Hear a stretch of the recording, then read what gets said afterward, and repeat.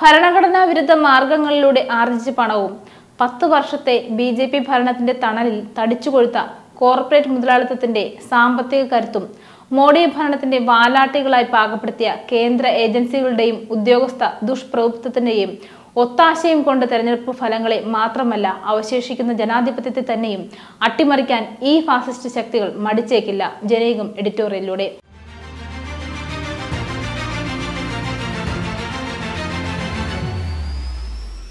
നാളെ ലോകമെമ്പാടും തൊഴിലാളി വർഗം മെയ് ദിനം ആചരിക്കുകയാണ്. തികച്ചും പ്രതികൂല സാഹചര്യങ്ങളെ അഭിമുഖീകരിച്ചുകൊണ്ടാണെങ്കിലും ഇന്ത്യൻ തൊഴിലാളി വർഗവും ലോക തൊഴിലാളി വർഗ ദിനാചരണത്തിൽ അണിചേരും. ഇന്ത്യയുടെ ഭാവിയെയും നിലനിൽപ്പിനെയും സംബന്ധിച്ച നിർണായക പ്രാധാന്യം അർഹിക്കുന്ന പതിനെട്ടാമത് ലോക്സഭാ തെരഞ്ഞെടുപ്പ് പ്രക്രിയയുടെ മധ്യത്തിലാണ് ഇത്തവണ മെയ് ദിനാഘോഷങ്ങൾ നടക്കുന്നത്. മനുഷ്യ സമുദായത്തിന്റെ കൂട്ടായ സമ്പത്തുൽപാദന യത്നത്തിനും ജനാധിപത്യ സാമൂഹ്യ ക്രമത്തിന്റെ സൃഷ്ടിയിലും സുപ്രധാന പങ്ക് വഹിക്കുന്ന തൊഴിലാളി വർഗം അവന്റെ അവകാശങ്ങൾക്ക് വേണ്ടി നടത്തിയ ധീരോദാത്ത പോരാട്ടങ്ങളുടെ അനുസ്മരണം കൂടിയാണ് ഈ ദിനാചരണത്തിലൂടെ നടക്കുന്നത്. അത് കേവലം ഒരു ദിനാചരണം എന്നതിലുപരി തങ്ങളുടെയും അധ്വാനിക്കുന്ന മറ്റെല്ലാ ജനവിഭാഗങ്ങളുടെയും അവകാശ പോരാട്ടങ്ങൾ തുടർന്ന് മുന്നോട്ട് കൊണ്ടുപോകാനുള്ള അവസരം കൂടിയാണ്. സ്വതന്ത്ര ഇന്ത്യയുടെ ചരിത്രത്തിലെ ഏറ്റവും പ്രതിലോമകരമായ രാഷ്ട്രീയ സാഹചര്യത്തിലും ദുരിതപൂർണമായ സാമ്പത്തിക വെല്ലുവിളികളുടെ മധ്യത്തിലും കൂടിയാണ് രാജ്യവും തൊഴിലാളികളും അടക്കം ജനങ്ങളും കടന്നുപോകുന്നത്. തൊഴിലാളികളുടെയും കർഷകരുടെയും മറ്റെല്ലാ അധ്വാനിക്കുന്ന ജനവിഭാഗങ്ങളുടെയും സമസ്ത അവകാശങ്ങളും ചവിട്ടിമതിക്കുന്ന കോർപ്പറേറ്റ് ചങ്ങാത്ത മുതലാളിത്ത ഭരണ സംവിധാനത്തിലാണ് രാജ്യം അമർന്നു പോയിരിക്കുന്നത്.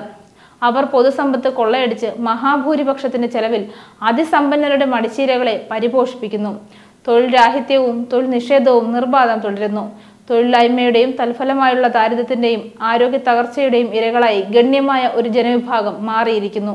ഇതിനെതിരായ രാഷ്ട്രീയ പ്രതികരണത്തിനുള്ള അവസരമായി ലോക്സഭാ തെരഞ്ഞെടുപ്പിനെ മാറ്റുകയെന്നതാണ് ഇന്ത്യൻ തൊഴിലാളി വർഗത്തിന്റെ അടിയന്തര കടമ. കേരളത്തിലെ തൊഴിലാളി വർഗം ആ ഉത്തരവാദിത്തം ഇതിനകം നിർവഹിച്ചു കഴിഞ്ഞുവെന്നാണ് പ്രതീക്ഷിക്കപ്പെടുന്നത്. കേരളത്തിന് പുറത്ത് ഇന്ത്യൻ നഗരങ്ങളിലും തൊഴിൽ കേന്ദ്രങ്ങളിലുമുള്ള നമ്മുടെ ദശലക്ഷക്കണക്കിന് വരുന്ന സഖാക്കളെയും സഹോദരി സഹോദരന്മാരെയും ആ ചരിത്ര ദൗത്യത്തിൽ പങ്കാളികളാക്കുക എന്നതായിരിക്കണം അടുത്ത ദൗത്യം. കഴിഞ്ഞ പത്ത് വർഷത്തെ ബി ഭരണം രാജ്യത്തെയും ജനങ്ങളെയും കൊടിയ തകർച്ചയിലേക്കാണ് തള്ളിവിട്ടത്. തൊഴിലില്ലായ്മ ഇക്കൊല്ലം എക്കാലത്തെയും ഉയർന്ന ഇരുപത്തിയൊൻപത് ശതമാനത്തിൽ എത്തി നിൽക്കുന്നു. തൊഴിൽ രാഹിത്യം സർവസാധാരണമായിരിക്കുന്നു. കോവിഡ് മഹാമാരിയിലും തുടർന്നും അടച്ചുപൂട്ടപ്പെട്ട സ്റ്റാർട്ടപ്പുകളിൽ പണിയെടുത്തിരുന്ന പതിനായിരങ്ങളാണ് വഴിയാധാരമായത്. പ്രമുഖ ഐ ടി കമ്പനികളിലും മറ്റും തൊഴിലെടുത്തിരുന്ന മുപ്പത് മുതൽ നാൽപ്പത് ശതമാനം എഞ്ചിനീയറിംഗ് ബിരുദധാരികളടക്കം സാങ്കേതിക വൈദ്യുതിയും കരസ്ഥമാക്കിയവർ പോലും പുറന്തള്ളപ്പെട്ടു. പൊതുമേഖലയുടെ വിനാശകരമായ സ്വകാര്യവൽക്കരണം മാന്യവും സുരക്ഷിതത്വമായ തൊഴിൽ എന്ന സങ്കല്പത്തിന്റെ കടക്കലാണ് കോടാലി വെച്ചത്. അടുത്ത ഒരു ദശകത്തിൽ ഇന്ത്യയിൽ ഏഴു കോടി തൊഴിലെങ്കിലും സൃഷ്ടിക്കപ്പെടേണ്ടി വരുമെന്ന കണക്കുകൂട്ടൽ ലക്ഷ്യം കാണാതെ രണ്ട് പോയിന്റ് നാല് കോടി തൊഴിലവസരം എന്ന നിലയിൽ കലാശിക്കുമെന്നാണ് പഠനങ്ങൾ പലതും പ്രവചിക്കുന്നത്. യുവജനങ്ങളുടെ തൊഴിലില്ലായ്മ രാജ്യത്തെ സ്ഫോടനാത്മകമായ സ്ഥിതിവിശേഷത്തിലേക്കാണ് നയിക്കുന്നത്. ജനങ്ങളുടെ നൈരാശ്യത്തെ വർഗീയ വിദ്വേഷത്തിന്റെയും തീവ്ര ദേശീയതയുടെയും അന്തരീക്ഷം സൃഷ്ടിച്ച് മുതലെടുക്കാനാണ് ബി ജെ പി സംഘപരിവാർ ശക്തികൾ ശ്രമിക്കുന്നത്.